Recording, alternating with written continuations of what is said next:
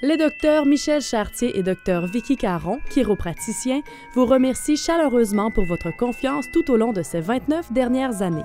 Ils vous souhaitent un temps des fêtes des plus radieux et une nouvelle année imprégnée de la plus belle richesse du monde, la santé.